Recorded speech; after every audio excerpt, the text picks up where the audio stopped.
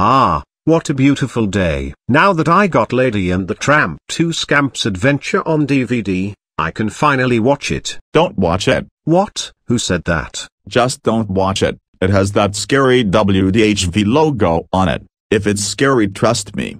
Oh my goodness, there's Mitchy Beanson. So you're telling me that there's a scary WDHV logo on this? Just watch and see for yourself. Oh okay I don't know that logo is anywhere. I don't see in front, spine, back, or even on the disc either. So I think that logo isn't anywhere. Just put the disc in the portable DVD player and just watch it. Fine. Seems like I have to do everything around here. Alright here we go. And I can't wait to hear Lady and Tramp's new voices.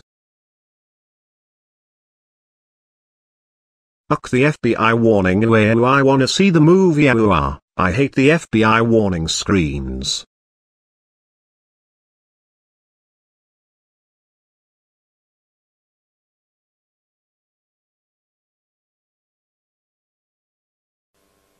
Oh what's that sound? Oh no ah. Told you.